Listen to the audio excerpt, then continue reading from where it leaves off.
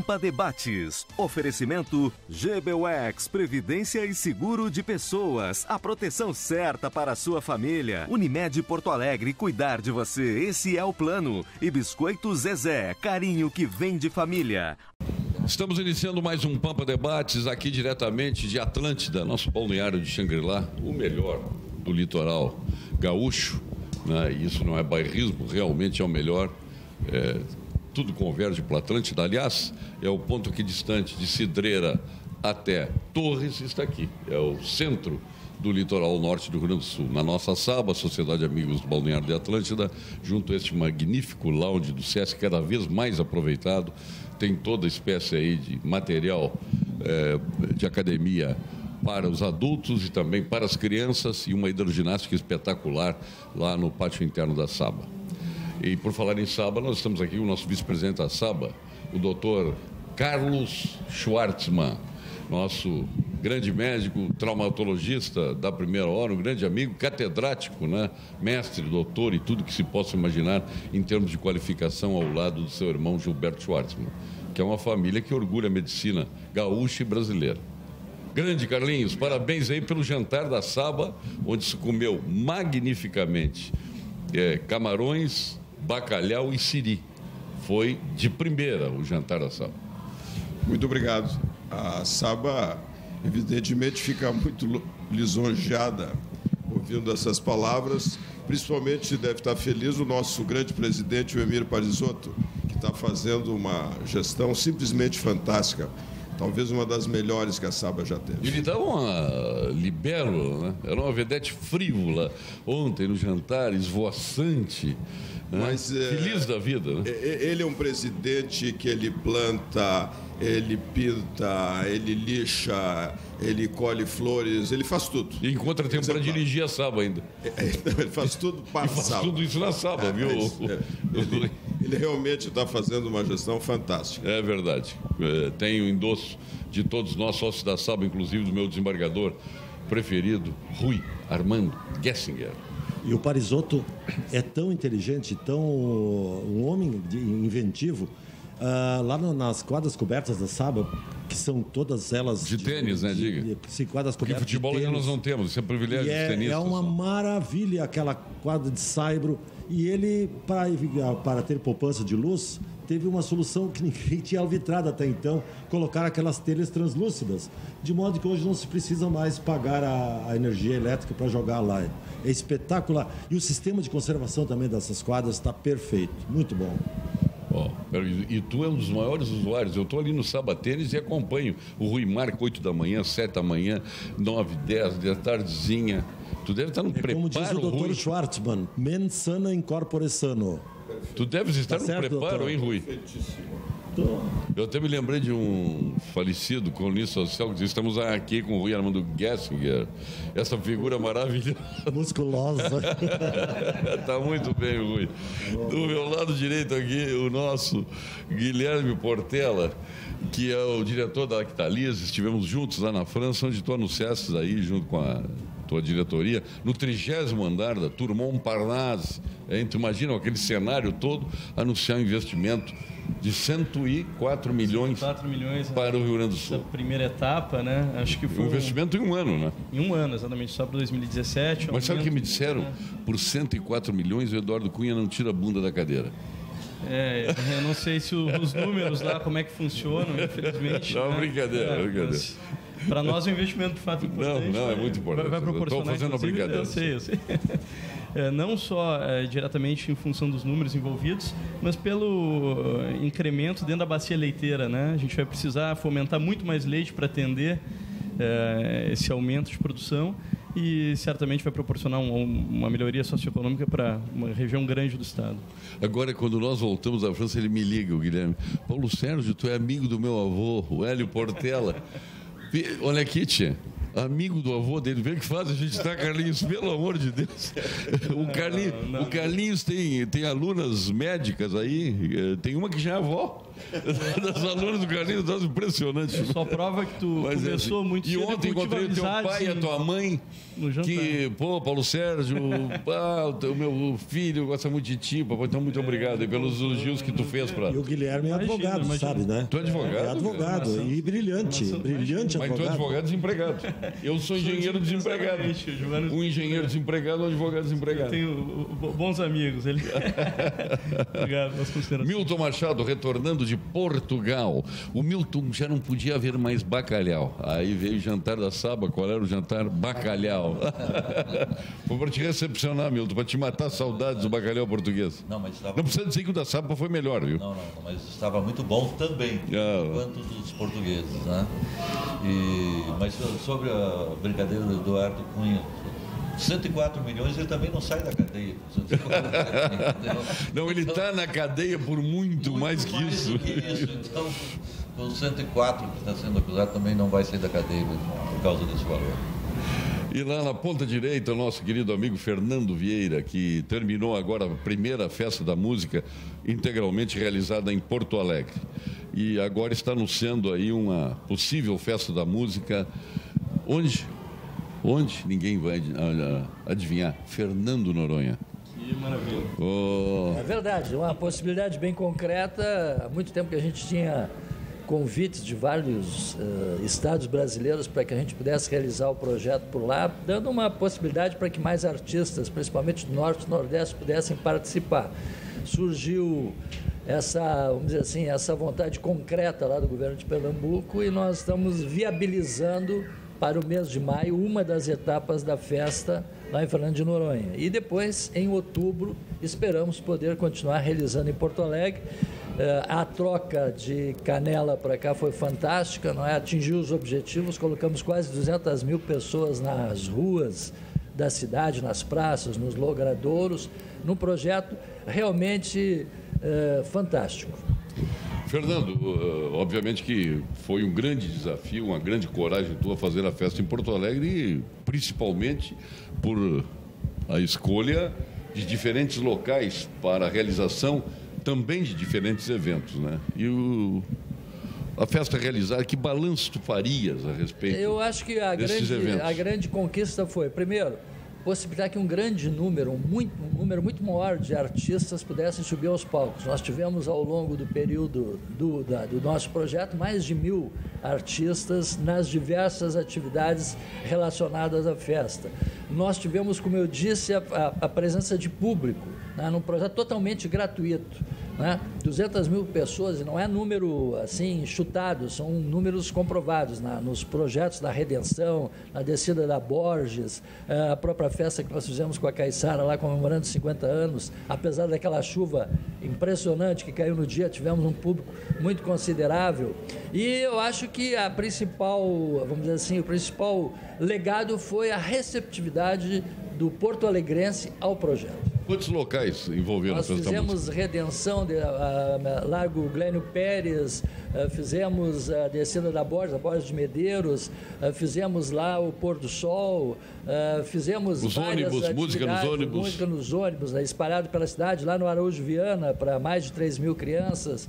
Fizemos um projeto de vários, vários workshops e debates, fizemos parceria com a FAMECOS na PUC, mais de foram 40 e tantas mil crianças em sala de aula fazendo redações sobre grandes compositores brasileiros. Enfim, a gente procurou fazer, voltamos a realizar os grandes concursos de bandas marciais, festivais e tal.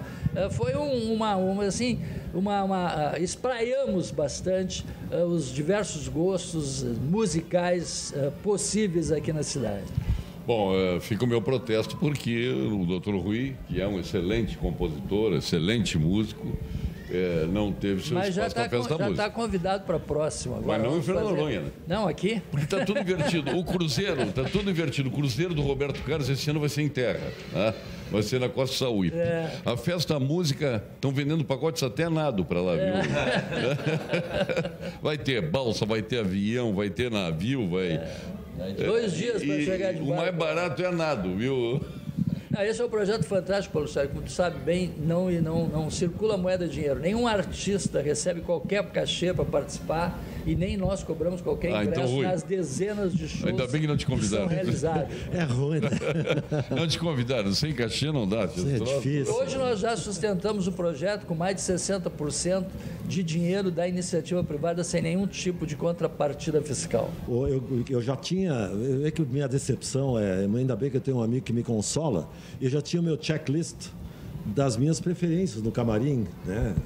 E era bem modesto, era a champanhe Muitas podia ser a champanhe. é, Brut, por exemplo, não precisava ser aquela francesa e bombons, não precisava ser aquelas que o nosso presidente encomendou, umas toneladas ali, não, nada disso aí, podia ser Neugebauer mesmo, tal. Mas a gente se acerta nisso aí. É, Não tem problema. Tá eu bom. sei que tu é um artista caro, mas vale a pena Eu esse já dei dois espirros aqui, viu? É o ar que está em cima da gente aqui.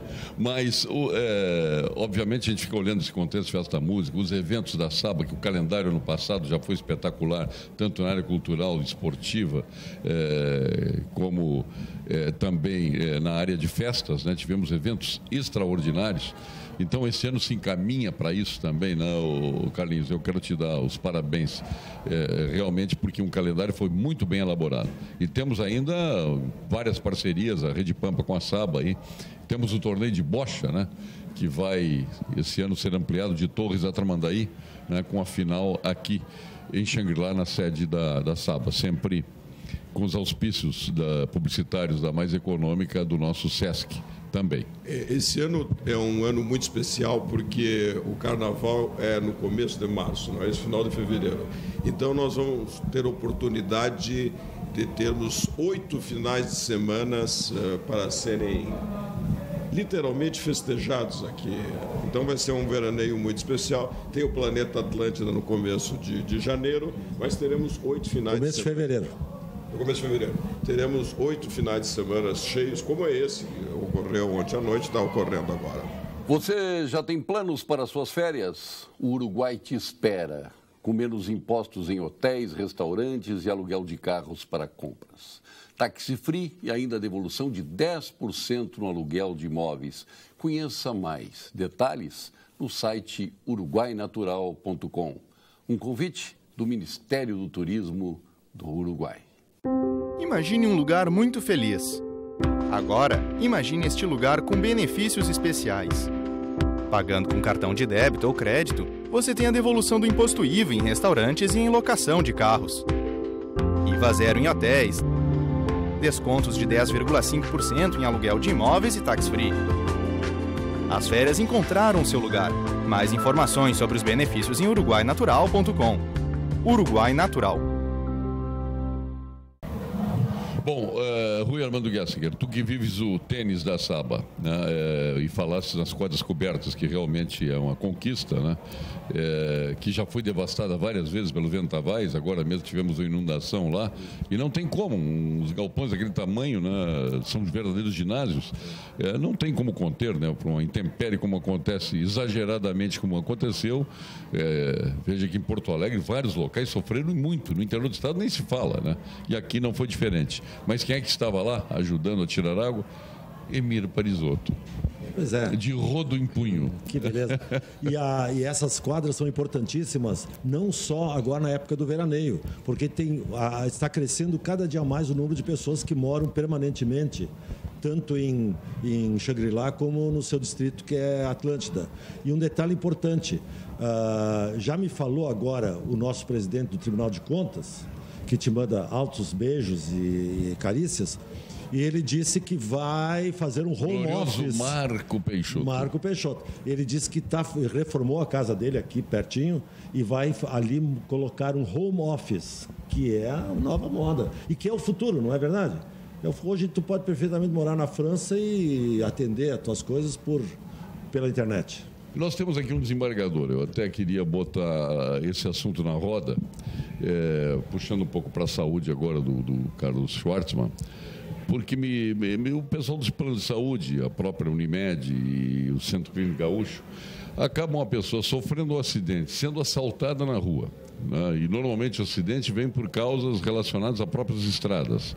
É, sofre um assalto, é baleada, vai atendido por uma ambulância do SUS, que é SAMU, né? vai para um hospital, lá é atendido e, enfim, passa por um todo o processo, especialmente no pronto-socorro.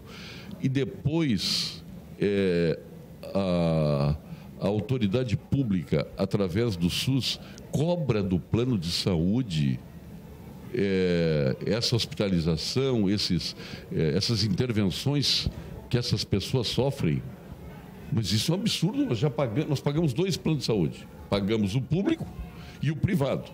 Ora, imagina, eu tenho Unimed, daqui a pouco eu quero ser atendido pelo SUS, é um direito, é um direito meu, eu não pago imposto para isso. Aí vou lá ser atendido pelo SUS e o SUS vai cobrar da Unimed? Pode isso, doutor Carlos Schwartzman? Olha, esses dias eu vi o, o deputado Marum falando aqui no seu programa, ele disse o seguinte: do que eu não entendo muito, eu não posso falar. Então é quem tem que responder é o nosso. Não, mas, não, mas para aí, não, tá análise, eu também não entendo, sim, mas eu, eu, te coloca na situação. Duplo, duplo, dupla cobrança, não é isso? Sim. Então, não, eu não. Isso eu não, não em caso de acidente, talvez até tripla, porque tem o DPVAT também que cobre, né? Tem DPVAT? paga o, o nosso imposto. É. Eu gostaria de ouvir as considerações do nosso nobre desembargador, Pô, que, entende, que vai... entende mais isso do que eu. Não se caísse a tua mão o julgamento disso. É. Tu é assaltado por falta de segurança preciso... que a autoridade pública não te dá. Tu vai para o hospital, é atendido, fica lá três, quatro meses é, internado, recebendo atendimento pelo SUS. Aí o SUS vai cobrar do, é, do plano de saúde que tu tens Primeiro, eu preciso fazer uma consideração muito importante que talvez alguns telespectadores não gostem, mas que eu considero verdade. Nós somos um país que está doente. Nós somos um país que está complicado mesmo. Só quem não viaja para o exterior, só quem não vai de vez em quando para os Estados Unidos, para a Alemanha, para a Holanda, para a França. Que é 99% do povo brasileiro. Né? Que é. Então eles ainda acham que não está tão horrível assim, mas está horrível. Tá, a coisa está muito, para dizer um termo, muito esculhambada. O índice de criminalidade nosso é astronômico. Por quê? Porque nós essa é a pura verdade. Nós não desvendamos mais, uh, os números não permitem mais nós desvendarmos uh, esses crimes que cotidianamente acontecem só em Porto Alegre. Porque, ah, assassinaram três lá e tal. Recolhe para lá e o, eles abrem lá uma ocorrência, mas não, a polícia não tem gente, nem estrutura, nem a brigada, nem a justiça de ir atrás disso aí. Banalizou completamente. Bom, o nosso sistema de saúde é um sistema também completo, porque existem atrofiamentos, existem superposições né? Os, vários planos de saúde ainda socorrem as pessoas, mas quantas vezes se vê essa, nos hospitais esta fila de pessoas, mas em que outro país tem isso? Então, eu sempre digo, nós não podemos raciocinar aqui no Brasil em termos clássicos, em termos ah, harmônicos, como deve a, a, a doença deve ser excepcional. O homicídio tem que ser excepcional. O acidente de trânsito na Alemanha é notícia de jornal. Um acidente de trânsito.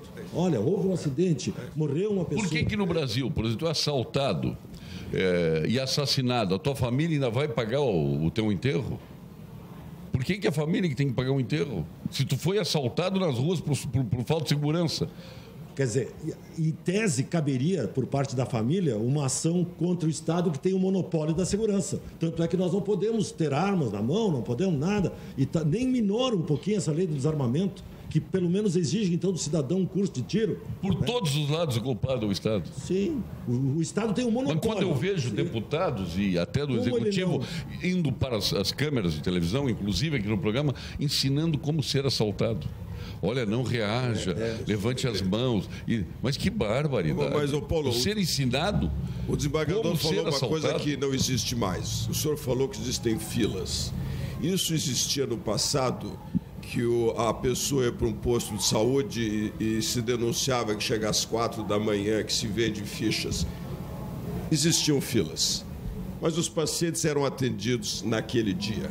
Hoje não existem mais filas, os pacientes são atendidos no próximo ano.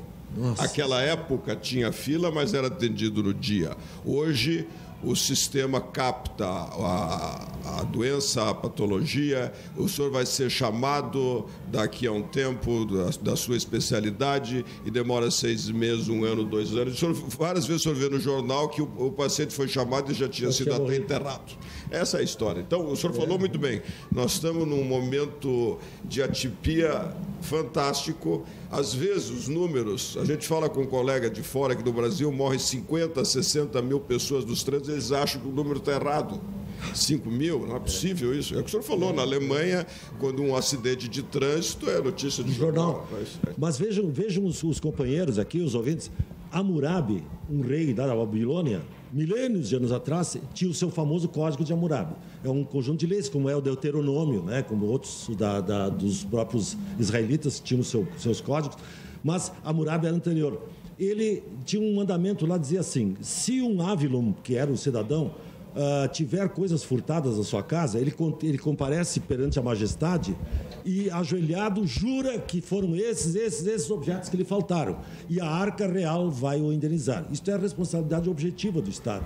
E que tem a responsabilidade da nossa segurança. E se ele não, por isso que eu acho que as pessoas deveriam começar a topetar o Estado de, de ações indenizatórias, porque nós não podemos nos defender pessoalmente. A, a, o monopólio é estatal e ele não está cumprindo. E tivemos um plebiscito que nós ganhamos pelo armamento é. da população e que criaram a lei o contrário. Né? Isso, de, isso de proibir as armas, que vai aumentar a criminalidade, é balela. Porque tem, tem, que proibir a navalha, tem que proibir o canivete, tem que proibir a faca, tem que proibir uma série de. Uma, uma, um machado, um facão faz mais estrago do que um, um revólver, às vezes. Quer dizer, tudo isso é balela. Nós temos que ser mais severos. É, é, a, a, não, não, é como se fez, no, como se fez nos Estados Unidos. A, contemplação zero. É, e fazer cumprir as penas. Tolerância zero. Tolerância zero. Mas eu vi também no teu programa esses dias, Paulo, que estavam discutindo a respeito do celular do presídio que entram. Isso eu acho uma coisa facílima de resolver. É só pegar as pessoas que estão no aeroporto e colocar no presídio e as do presídio colocar no aeroporto. É só inverter que está resolvendo o problema, que não vai passar nada, não é isso? Porque quando é. chega no aeroporto, qualquer que tem que tirar o sapato, o cinto, Sim. o brinco. Mas faz isso com o advogado, Saca-rolha não pode levar. Faz isso com o advogado. Revista uma mulher. É só inverter. Com algum exagero, tu vai ver o que vai acontecer. Ah, é, é impressionante. Agora o que eu gosto é das máximas. Agora vai, diz o ministro da Justiça, vamos criar presídios à prova de sinal de celular. Mas vem cá, mas não é proibido o sinal de celular. Agora vão criar. Como, como se precisasse construir um presídio só para ser a prova de celular, não prova de celular. Pode o celular estar dentro do presídio. Sim, não, e consegue carregar ainda. É o celular e o carregador, né? Para carregar o celular, eles têm tudo. Né? Outro dia não acharam um presídio no bebedouro, cento, o cara foi consertar, é. tinha cento e poucos celulares dentro do bebedouro. Não era bebedouro, era depósito de celular. É, aí não funcionava o celular, o cara da manutenção mandou recolher para consertar. Não. Era um depósito de celular, que barbaridade. Não, e são coisas assim fantásticas. A mesma coisa que o governo criar uma lei para limitar seus próprios gastos. Mas não é ele que, que tem a gestão dos gastos? Precisa de lei para limitar os próprios gastos? Ah, não, porque pode vir governos futuros e tal. Quer dizer, tudo é. Mas, enfim, aí esse, essa é a realidade do nosso Brasil. Mas estamos falando, falando do Brasil dos problemas. Nós temos que falar do Brasil da produção, aquilo que interessa. E acho que o governo, a gente ficou esperando medidas é, que realmente pudessem conter os gastos públicos, mas também medidas que pudessem levar a, ao desenvolvimento. E felizmente o, o presidente Michel Temer tomou decisão no final do ano passado de estabelecer algumas medidas para que se pudesse gerar emprego, renda e produção no Brasil. Depois de termos lida a mensagem do nosso Senji com o momento do engenheiro. Momento do Engenheiro. Oferecimento Senji, Sindicato dos Engenheiros. Nosso maior projeto é você. Você sabia que em 2016, nada mais, nada menos que 1.800 engenheiros foram agregados aos sócios do SENGE? E você sabe por que este número chegou a este patamar? É porque o SENGE tem excelência no plano de saúde com o SENGE Unimed. Tem a segurança no plano de previdência com o SENGE Previdência. Os descontos de universidades estão aí e em curso de qualificação. A representatividade nas negociações coletivas também é uma outra é, qualidade, um outro é, quesito que o Senji trata com muito carinho e muita propriedade. E essas são só algumas das vantagens no alcance de toda a categoria e, claro, dos seus dependentes. Acesse o portal Senji e conheça também o serviço de assistência jurídica ampliado em 2016 para engenheiros das regiões de Caxias do Sul, Rio Grande, Pelotas, Bagé, Santa Maria, Panambi de Santo Ângelo, além, claro, da região metropolitana e da capital de todos os gaúchos. Faça com mais de 14 mil profissionais da área. Seja sócio do SENGE, Sindicato dos Engenheiros, cada vez mais nosso maior projeto é você. Como é que tu vistes, doutor Guilherme Portela, as medidas do governo federal no sentido de gerar emprego e renda? Acho que tu comentou bem, é, teoricamente não precisaria, porque o governo dispõe, mas o problema do Brasil acho que não a teoria é a prática, né? E na prática, eh, a gente sabe que eh, podem ocorrer direcionamento de verbas para outros fins, fins populistas, que não necessariamente são aqueles que o Brasil precisa, né? Então, isso coloca alguma restrição. Eu acho que nesse momento que a gente passou por exageros, isso tem alguma simbologia. Eu não vi eh, com maus olhos isso, Paulo, para ser sincero. Eu acho que o que deve acontecer é que a gente priorize aquilo que o não, Brasil não é realmente... questão de maus olhos, acho que até tem que fazer, mas é, é que é de estranhar, né? Tem que fazer um presídio para a prova de sinal de celular. Não, isso ah, é... Ter que fazer um presídio para conter o gasto do executivo. É, Convenhamos. Né? É, teoricamente, eu acho que não seriam necessárias, como tu falou, mas como na prática, nos últimos anos, a gente viu o dinheiro escorrer né, para outros fins. Eu acho que quanto mais restrições a gente puder colocar nesse momento para a administração pública poder direcionar os recursos para onde realmente é necessário, isso eu acabo vendo com bons olhos, para ser sincero, né? Vamos ver, agora a gente tem eh, todos, eh, tudo combina numa coisa só, eu acho, no final das contas, é quem a gente coloca lá. Né? Eu acho que nós ainda não soubemos eleger as pessoas em número suficiente é, para, é, enfim, nos administrarem da maneira devida. Acho que a gente tem, sim, uma democracia muito jovem, esse é um processo de aprendizado, mas acho que tudo, com tudo isso que aconteceu, eu estimo que a gente tenha uma melhora na, gradual nas próximas eleições e que a gente possa definitivamente estar votando melhor e estar conseguindo colocar representantes que realmente traduzam aquilo que o povo precisa lá na administração. E vocês acreditam, sinceramente, Milton Machado, que é um homem trans, um empresário também, gerando é, emprego e renda e, e, muitos, até agora em clube de futebol com São José, tu achas que é, nós teremos uma reforma trabalhista condizente com um melhor relacionamento capital-trabalho, menos oneroso para é, o capital, que aliás, tem gente que pensa que é oneroso para o capital, não, ele é oneroso para o trabalhador, porque essa lei trabalhista que está aí, ela é desempregadora, esta que é a grande verdade. Olha, a esperança é que melhore melhore bastante. Mas uh, nós temos que ter consciência de que há muitos interesses. Né? Uh, foi dado muito poder, muitos poderes aos sindicatos e eles têm uma força muito forte, muito grande. Né? Coisas que em outros países aí não, não existe. O sindicato é até um órgão de cooperação do governo. Aqui não, aqui é sempre de oposição. Então, eu não acredito assim que vai ser é, vai passar tranquilamente esse tipo de, de, de, de, lei, esse tipo de ajuste, né? Porque as leis trabalhistas elas, elas são terrivelmente prejudiciais ao empresário, ao empregador, né? E, e, e automaticamente acaba prejudicando o empregado, porque esses custos todos o, os empresários têm que passar, têm que repassar esses custos. Então acaba onerando todo mundo, prejudicando todo mundo. Você já entra no.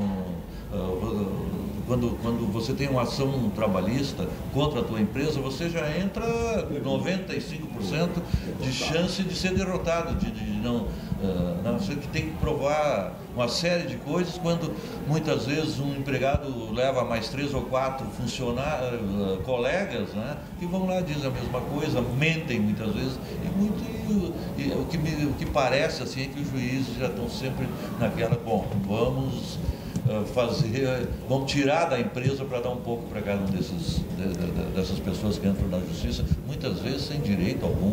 Né? É impossível, sim, é, um funcionário às vezes ganha 3 mil reais por mês, entra com uma ação, trabalhou aí dois anos, três anos, reclamando 300, 400 mil reais. E muitas vezes acabam ganhando esse tipo de ação e normas regulamentadoras exageradas, né? Também hoje em dia eh, nós importamos equipamentos alemães dos Estados Unidos e muitas vezes não podemos usar aqui sem adaptações no Brasil porque, eh, enfim, não condiz com o NR10, NR22.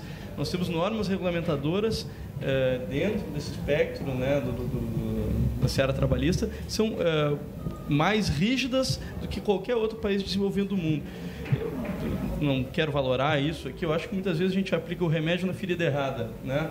Tem que ter uma, uma reanálise disso tudo. Existem, de fato, exageros que hoje eh, diminuem a capacidade de investimento externo no Brasil. Não tenho dúvida disso. Nós temos um exemplo, né, Paulo Sérgio, do nosso amigo Dodge, ontem ele estava, estava comentando, que a gente, perguntando por que, que este ano não saiu o Cruzeiro, né, do, do, do Roberto Carlos, ele explicando que o Ministério do Trabalho interferiu nas empresas estrangeiras, dizendo que para cada funcionário estrangeiro dentro do navio tem que botar um brasileiro. Não é possível. Então, dizer, é uma não, tripulação de, um, vamos dizer, de, de, de 3 mil passageiros né, dentro do, do navio, tem uma tripulação de 1.000 a 1.200 funcionários do, do navio teria que ter também brasileiros. E a qualificação desse Mas que barbaridade, mas é de última, quer dizer, eh, eles acham que vão ganhar emprego na marra. Não, Aí acabou, não, acabou os cruzeiros. Não, pronto. A, a, indústria do turismo, porque quantas, quantos navios né, principalmente da Itália, estavam vindo para, para o Brasil. Perde competitividade, esse é o grande problema, né? Ao agregar, a gente só se complica mais. Acho que dá para resumir a Justiça do Trabalho no discurso do hoje prefeito Nelson Marquesan, quando o deputado federal eh, na tribuna, numa daquelas audiências públicas, fez uma demonstração matemática do custo da justiça do trabalho em relação aos benefícios que ela proporciona. Então, se a Justiça do Trabalho, vamos supor, em números uh, aleatórios aqui, ela paga durante o ano inteiro um milhão de reais a todos os beneficiados, ela custa dois. Quer dizer, ele uh, uh, se expressou de uma maneira tão clara que me chamou a atenção. Eu jamais imaginei que isso pudesse acontecer e acho que muito poucas pessoas sabem. Quer dizer, a Justiça do Trabalho custa o dobro do que ela proporciona de benefício ao trabalhador. Isso está correto, desembargador? Ah, e outra coisa, não, está descoberto. Outra coisa importante é o seguinte: o Estado não produz riqueza. Vamos, vamos nos conscientizar disso. O Estado, a máquina estatal, ela, ela tem que existir, ela tem que estar funcionando, mas ela não produz riqueza. Quem produz riqueza é, são os particulares que têm seu botequinho, tem sua fábrica, tem isso, tem aquilo. E eu, eu creio o seguinte: ou nós nos sentamos à mesa de negociações, os sindicatos e todo mundo e entramos num acordo no sentido de flexibilizar as relações trabalhistas, porque assim como dá, não dá, não dá mais. Né? Assim como tipo, está com essas amarras, com inversões de ônus da prova, por exemplo, isso é um absurdo. A inversão do ônus da prova. Bem, se nós não fizermos isso, não vai ter mel nem poronga. Tá? Porque o pessoal vai desacorçoar, a nossa economia vai decair, viu? A informalidade vai graçar e aí não tem nem mel nem poronga.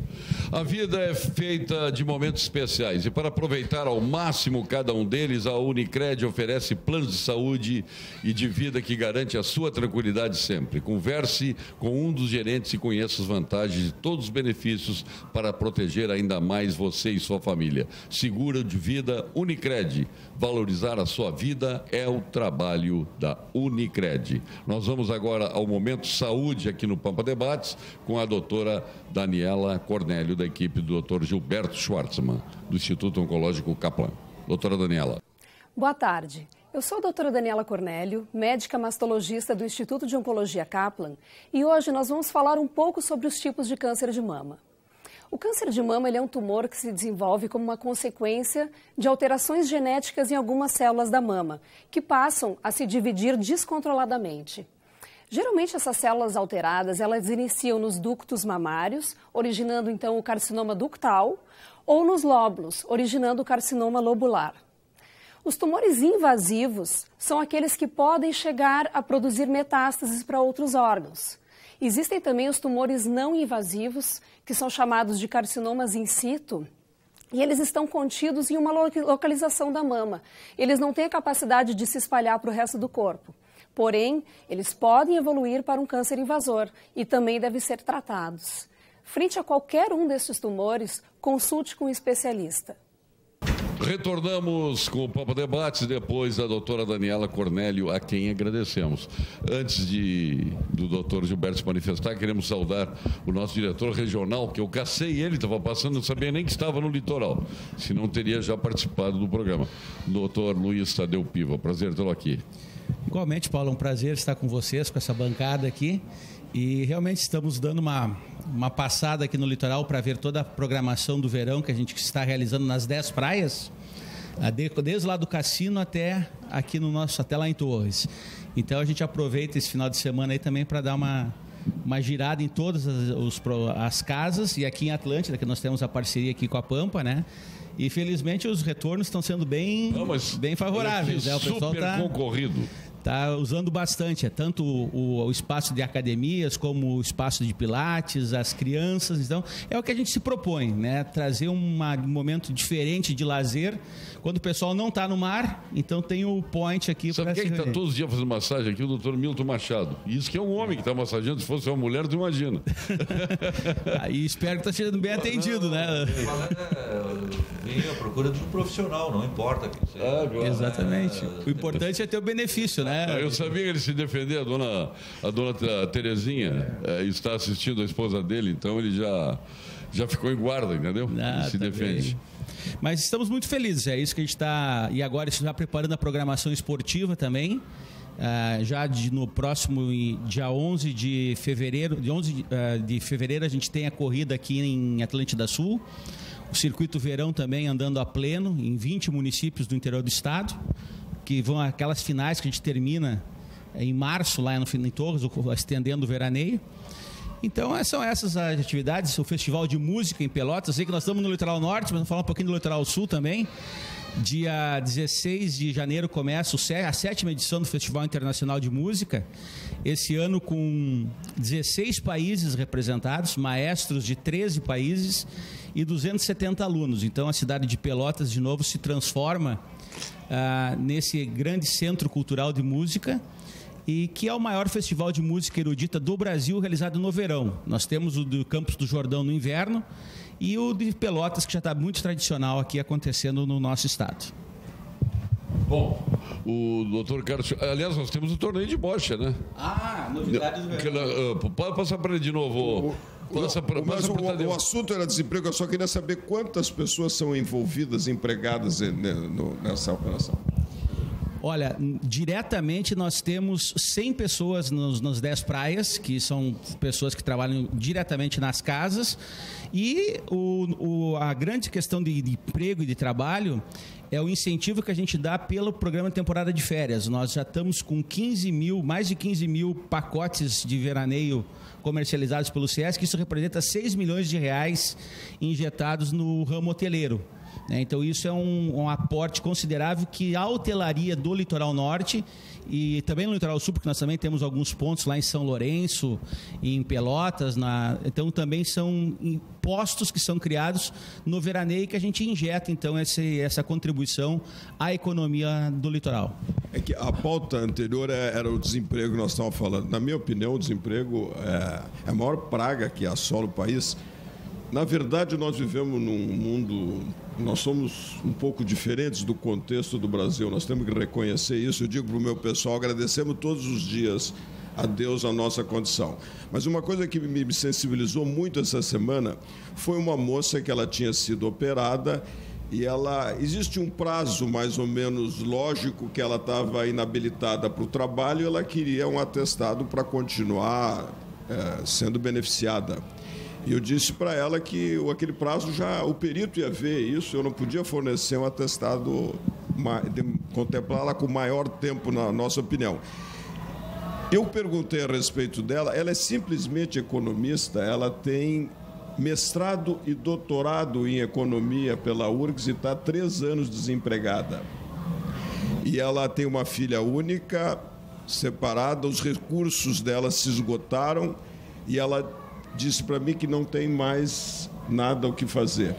E ela disse uma coisa que eu fiquei chocado, que ela disse o seguinte, doutor, eu não posso nem me prostituir. Ela tem beirando 50 anos.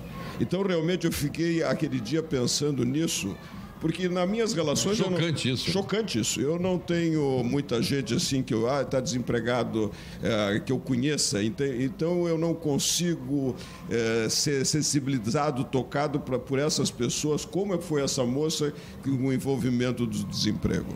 Então eu acho que é a maior praga que o vários já comentaram aqui que o presidente. E grande parte delas não é só recessão, é pelas leis trabalhistas que são desempregadores. Perfeito, é um consenso. Os sindicatos pensam que agem em benefício do trabalhador, eles agem contra o trabalhador, essa é a verdade. E essa profusão de sindicatos que surge no Brasil é um escândalo. Né? Sindica... Temos mais de 15 mil sindicatos. Né? Os sindicatos passaram a ter donos. Eles brigam para serem presidentes de sindicatos. Né? É inacreditável. Mas é, eu acho que é, o SESC, por exemplo, e o SENAC e os ESSES exercem um papel fundamental, viu, Luciano, na formação de, dessas pessoas, né, que é, do jeito que está, né, as pessoas estão sem formação, sem profissionalização.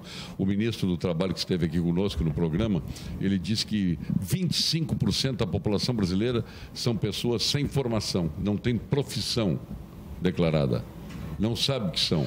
E eu acho que nesse aspecto, SESC, SENAC, SESI, SENAI, o SESC, claro que ele trabalha é, é, muito em função é, do desenvolvimento social do próprio trabalhador, mas o, a formação através dos S's, especialmente o SENAC no caso do comércio, é fantástica. Né?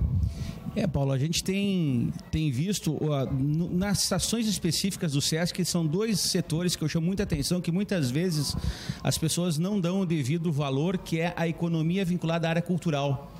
Uh, a parte artística, a parte de shows, a gente tem muitas realizações aí pelo interior do estado.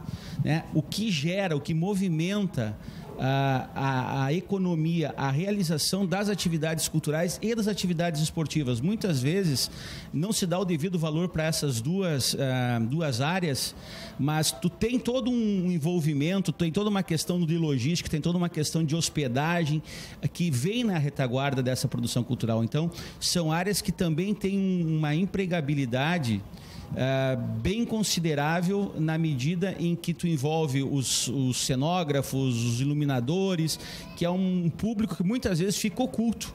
O, o Fernando sabe o que, que é fazer um espetáculo, fazer um festival, né? o que, que movimenta a economia. O Festival de Pelotas, por exemplo, que a gente está começando agora, ele vai ter uma injeção lá em Pelotas de aproximadamente um milhão e meio de reais com toda a ocupação hoteleira que demanda desse, dessa, dessa atividade.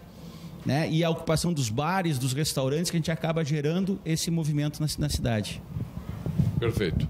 É, obviamente que nós é, temos no litoral também um contexto que a sazonalidade leva a emprego para dois, três meses no máximo. Né?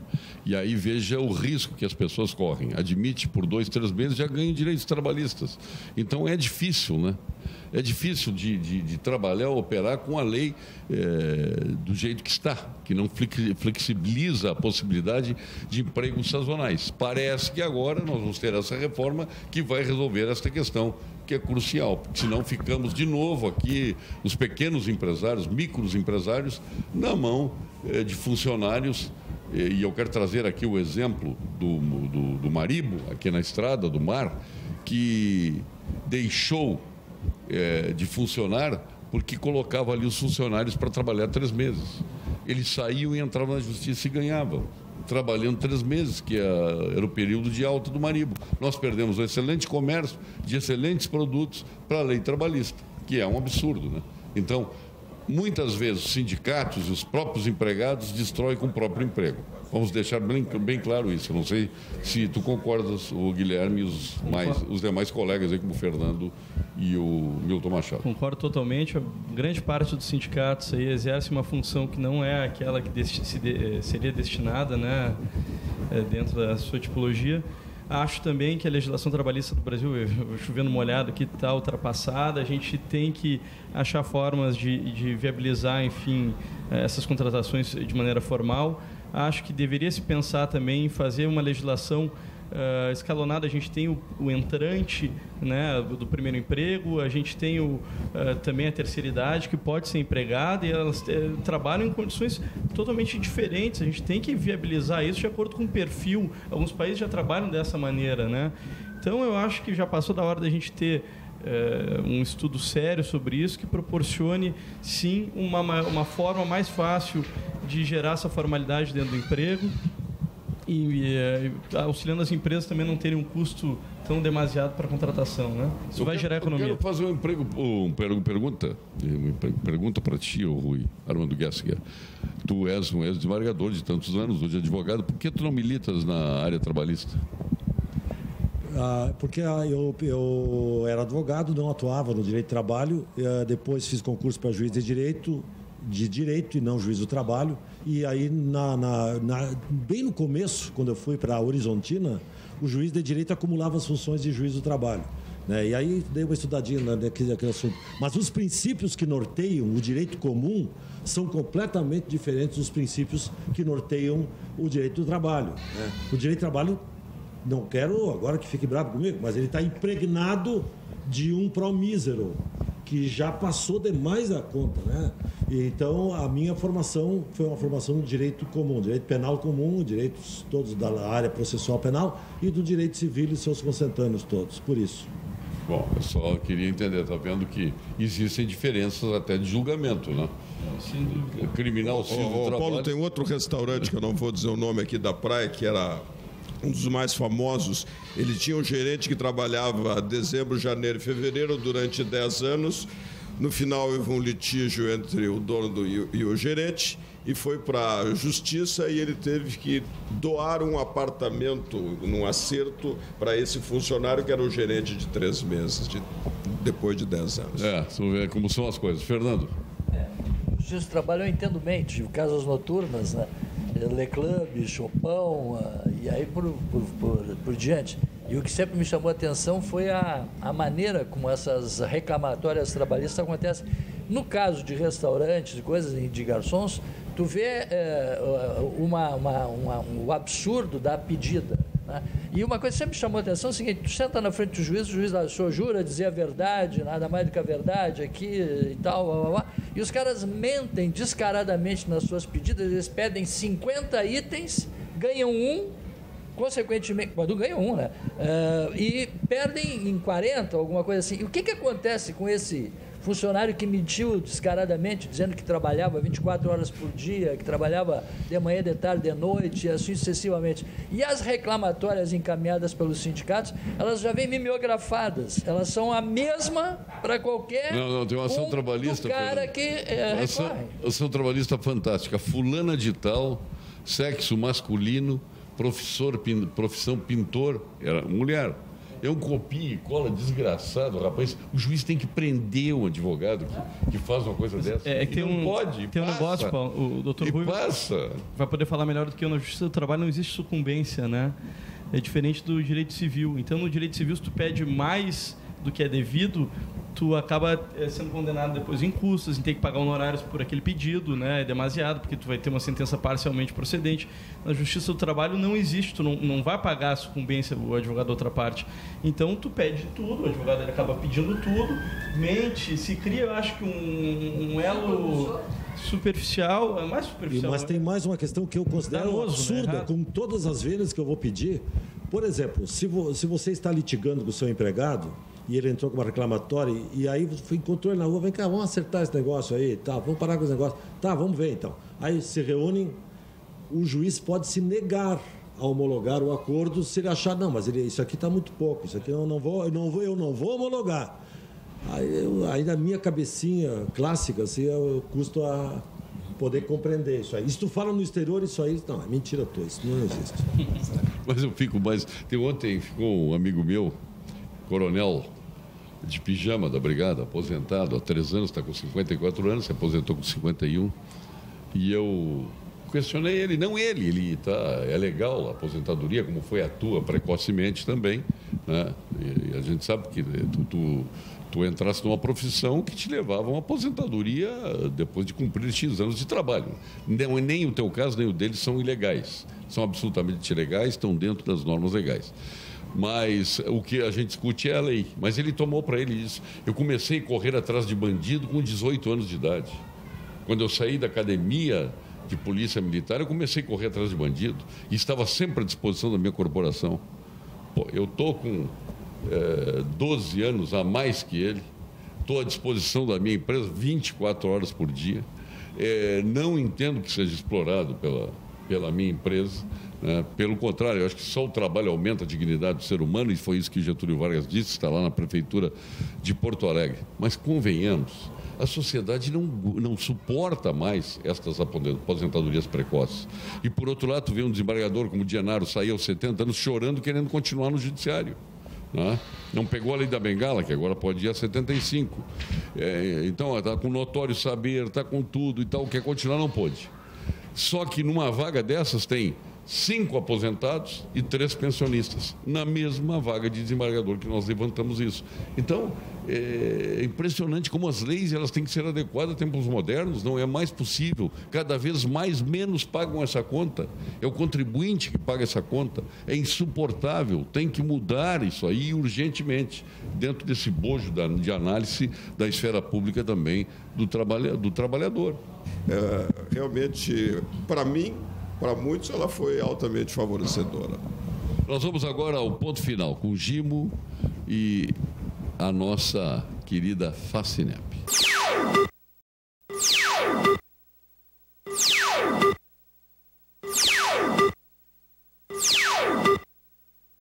Ponto final. Oferecimento Produtos Gimo, qualidade comprovada.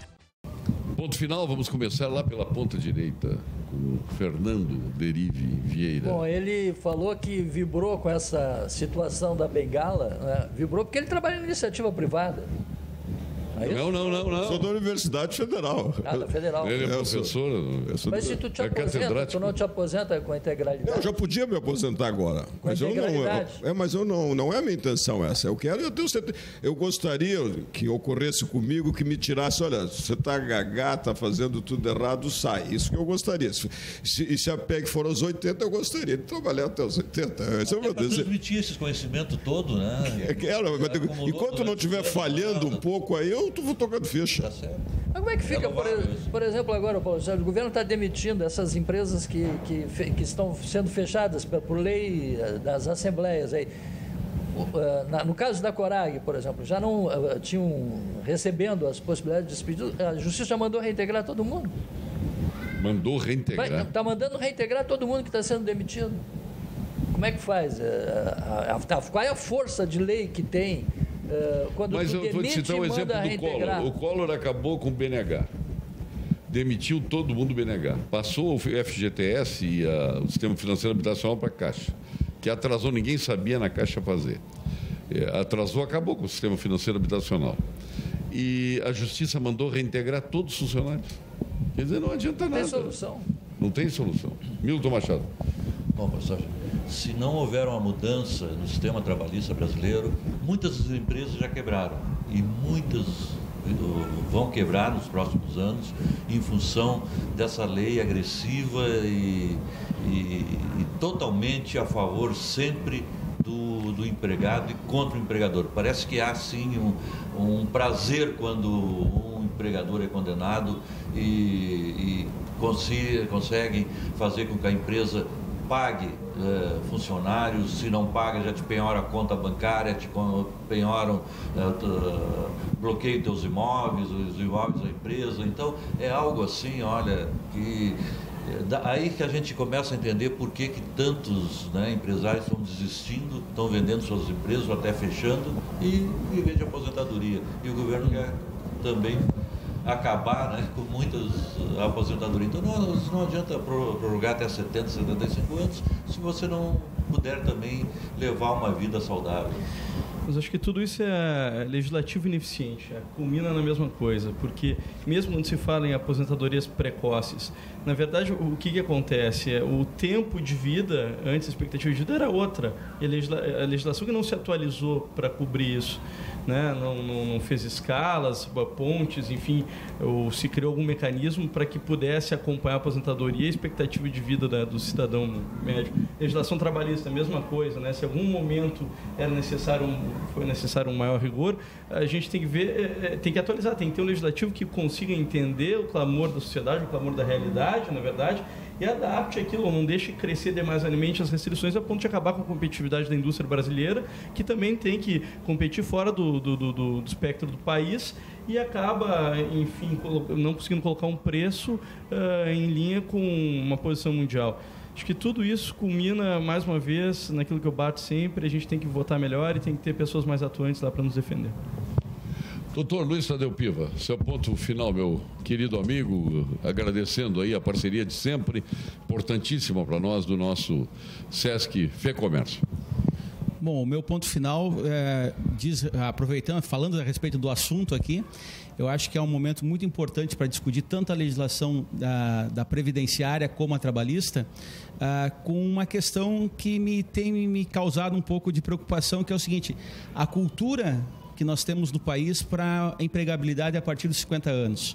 Quando nós falamos aqui, a gente fala de professores universitários, fala de juízes, mas quando nós descermos um pouco o trato social e nós virmos os empregados de fábrica, de indústria, eles não ficam empregados até os 65 anos. As indústrias têm uma cultura de fazer a troca. O comércio também faz isso. Né? Então, nós vamos elevar o tempo de contribuição, o tempo de idade de aposentadoria, mas nós temos que ver a conjuntura social, porque não sei quantos dessas pessoas de menor escolarização vão ter emprego até os 65 anos de idade. Isso também é uma questão que tem que ser considerada ah, nesse, nesse aspecto aí. E ficar o convite, então, obviamente, para quem estiver aqui no litoral, que venha a uma, aqui, aqui em Atlântida ou em alguma das praias, participe da programação de verão, enriquecendo com lazer os seus momentos aí nesses meses de janeiro e fevereiro. Perfeito. Nosso vice-presidente da SABA, nosso médico e grande traumatologista. Obrigado, Carlos. É, a minha, meu ponto final é uma mensagem de otimismo. Eu digo para o meu pessoal às vezes o seguinte: olha, estamos nadando a favor das ondas, ou estamos nadando contra as ondas, que é o momento, momento mais difícil. Hoje o Brasil está nadando contra um tsunami em todas as áreas, mas isso vai passar. Nós venceremos isso vai demorar um pouco mais, um pouco menos. Eu só vejo uma atitude que nós podemos fazer para vencer isso mais rápido. É trabalhar, trabalhar, trabalhar como afinco, como o nosso presidente Parisotto, que ontem levantou vaso, pregou planta, pregou vaso na parede, limpou o chão. Eu estou só olhando. Não, é, até o, outro lá, aquele vaso o painel, tá no lugar. O painel, o painel, o painel de trás. o Parisoto ia lá e colocava eu, não, Na verdade, ontem eu demorei umas três horas, o, o painel de trás do vizinho ali foi. Eu gosto muito de plantas. Eu coloquei todas aquelas plantas que você viu ontem naquela maravilhosa festa é, de ontem à noite. Muito obrigado. Nosso desembargador Rui Armando Gessinger. Queria fazer um apelo ao nosso prefeito municipal Uh, veja só, a, a, Orla Marítima é o, é o cartão de visitas. Né? Você recebe um amigo de fora, vamos dar um pulinho aí na praia. Eu, paguei, eu paguei um vexame bárbaro na, no, no, festival, de, no, agora nessa passagem do Ano Novo. Garrafas, olha, um horror a sujeira na praia. E assim é depois de cada fim de semana. Ah, pois é, mas o povo é mal educado, fica tirando as coisas. Pois é, o povo é mal educado, fica tirando as coisas, mas a prefeitura tem que ir lá limpar. Tem que ir lá, porque o, IPTU que nós pagamos não é barato e, claro, diz que o prefeito está olhando muito para as vilas, para cá e para lá, muito certo. Pro, lá para os postos de saúde, muito certo. Para as escolas, muito certo. Mas tem que cuidar, tem que cuidar aqui da nossa praia. É, e eu faço esse apelo, é prefeito Celso, né? O nome dele? Silon. Silon. Silon. Não, o Celso era aquele anterior. O Celcinho anterior. Tá. Silon. Não, que aliás se reelegeu, né? O, Sim, o Silon se reelegeu. O, o, o Silon se reelegeu aqui, né? Então estamos não sob nova sob a égide de nova só gestão. Só em defesa do, do Silon o seguinte, eu veraneio há muitos anos aqui, ele foi o que fez essa fantástica, que eu tô, essa Avenida Beira-Mar para nós aí. Se ela tá boa, Não foi a Bebel? Não, a Bebel também, lógico, mas a Bebel também ajudou, mas o prefeito, é, o manda-chuva era o É, Silão. falta muitas lixeiras também, né? Você anda. Não tem, não tem Não tem, não Não tem tem. lixeira. Não, essa frente aqui, ó, da, aqui onde está o laude do Sesc, que aliás maravilhoso, é uma meia quadrinha de buracos, tia. Por que não arruma? O que, que passa o inverno inteiro? Por que não arruma, não tapa os buracos ali? Por que, que tem que estar esburacado? Me explica. Será que não tem recurso suficiente?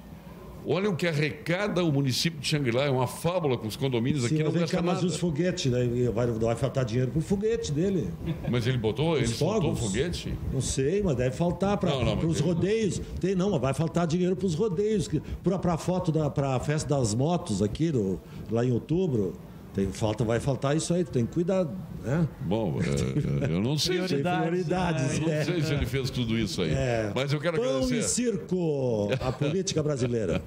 Quero agradecer ao nosso Fernando Vieira. Parabéns pela Festa Nacional da Música, que agora deve atravessar o parte do oceano para chegar a, nesse primeiro semestre, a Fernando Noronha. Não esqueça os pacotes, tem barco, tem cruzeiro, pode atravessar nado, que é mais barato, que é o pacote mais barato que tem a nado, com direito a, a um crosco no meio dos tubarões. Né? Não, é excelente, Fernando Lá. Parabéns, a ideia é brilhante. E continuo com sucesso para o segundo semestre aqui em Porto Alegre. Milton Machado, nosso São José, já começou a pré-temporada? Sim, já. Foi Não Me Toque, não?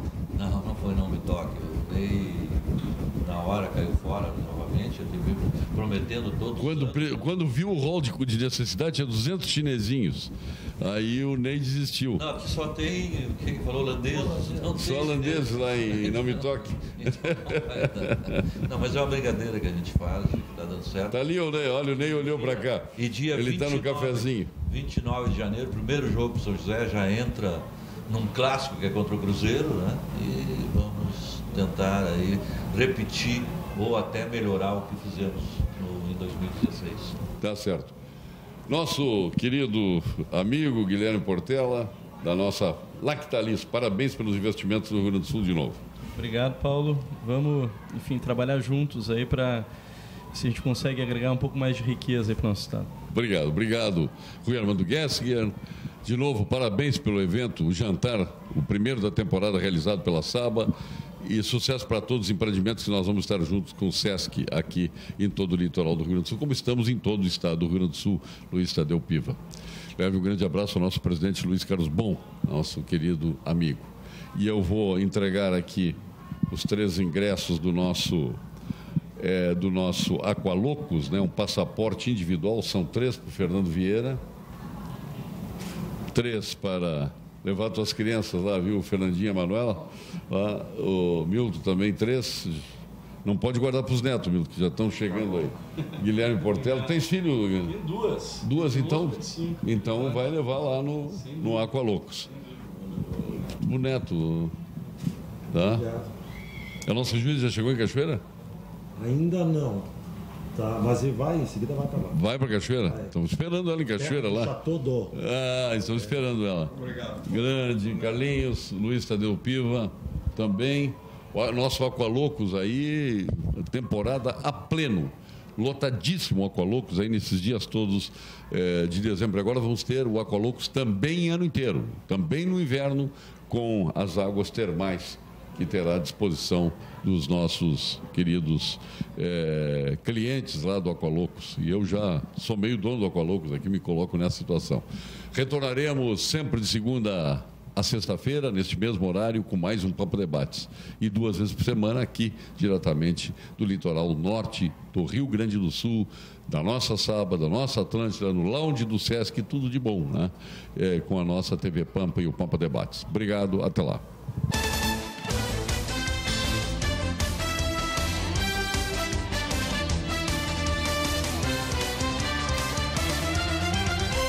Debates. Oferecimento GBUX, Previdência e Seguro de Pessoas. A proteção certa para a sua família. Unimed Porto Alegre, cuidar de você. Esse é o plano. E Biscoito Zezé, carinho que vem de família.